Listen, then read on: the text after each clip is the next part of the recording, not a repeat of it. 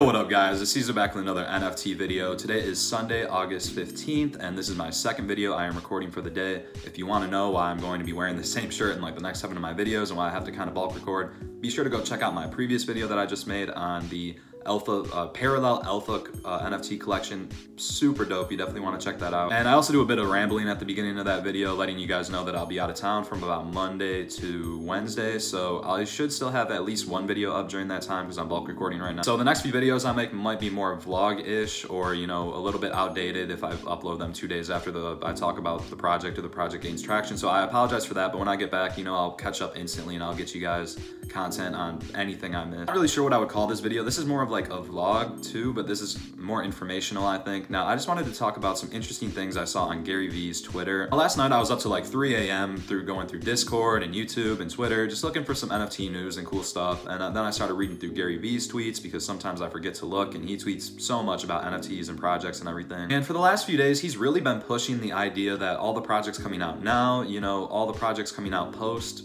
2020, you know, the 2021 projects this summer of NFTs we have going on.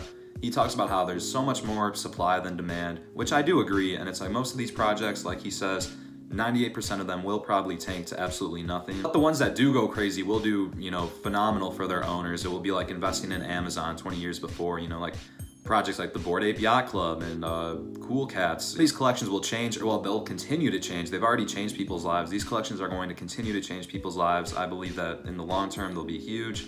Besides the top three to five in the industry, it's really hard to tell which one of these projects will actually have longevity in the future. So what Gary's been talking about a lot on his Twitter recently, and I don't see getting too much attention, is he's been talking about finding projects from 2017, 2018, 2019, the early ancestors of the NFTs we see today. And he keeps mentioning how he wants to find these hidden gems and everything, and how all the ones now are going to be busted, but if you can find the next CryptoPunks or something from the past that could re-catch fire, you know, that's one of the ways to go. I decided to start making the NFT videos because I wanted to get involved in the NFT community and I really didn't think I had the means to create my own collection, which is false. I'm actually making my own collection now. It's been a ton of work, but be sure to join the Discord in my description or the comments. Uh, the Super Starfish Discord, starting to really heat up in there.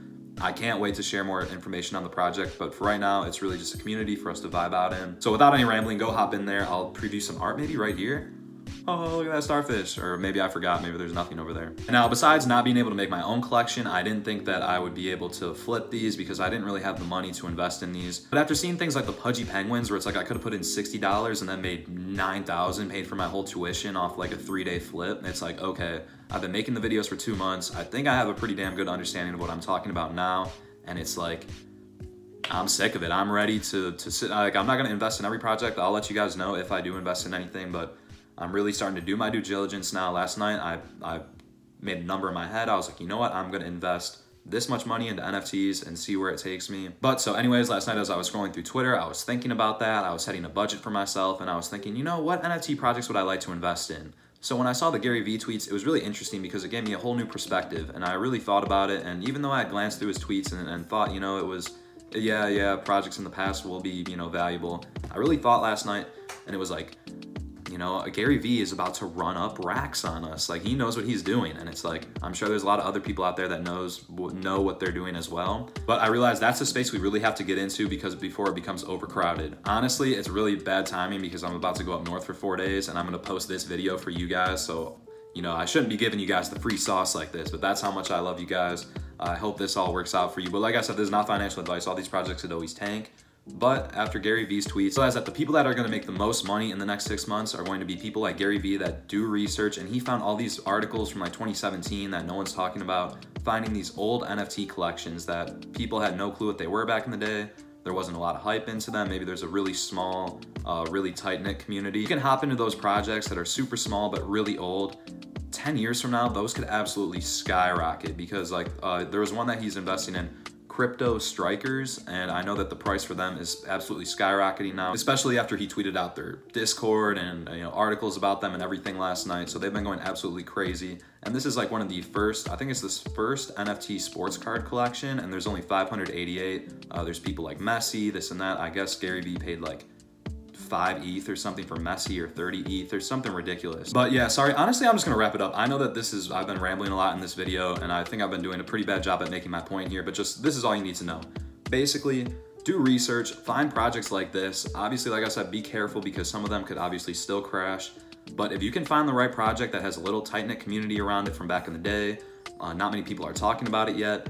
You can get in at a, rel a relatively low price, and it was made 2017 to 2019. I would prefer 2017, but anything prior to 2020, really, I would say, is probably a great project to invest in. It's definitely a more long-term play, but I definitely think, like Gary Vee said, you know, that's what he's looking for. I think smart investors will definitely be trending in that direction. Yeah, I think that's the best way to acquire wealth off NFTs right now. If you could get your hands on one of those early guys, like like think of the crypto punks. Back in the day, some people were able to get crypto punks for free. They were literally given away for free, and now people less than four years later are selling them for millions of dollars. So, and crypto punks aren't even the first anything. Like they're a very early collection, obviously, but they're uh, they're not actually the first or this and that, whatever. So uh, if you can get into one of these early collections, could absolutely be huge for you. And you know, I'm sure Gary Vee will catch on eventually. So it's basically us versus Gary and a, and a, bunch of other smart people. Even though I really appreciate Gary, he's given everyone the free sauce and everything. But that inspires me. I love that this community is so nice. Like everyone I've talked to, everyone's so willing to share information and help one each other out and everything. It's just, it's so cool. I, I really love it. I've had a great time making these videos and everything. But with that being said, thank you. I hope you guys learned something from this video. I know it was kind of all over the place, but thank you so much for watching. Be sure to join the Discord in bio, guys. I'm telling you, it's really heating up down there. I'm not sure how involved I'll be for the next four or five days. I probably won't have any service, which is really gonna suck, but uh, really building something cool over there, I think. Hold down the chat for me, guys. I really would love to, like, it would make me so happy to come back to, like, thousands of Discord messages or whatever. So, thank you guys so much for watching. I'll see you next time. Peace.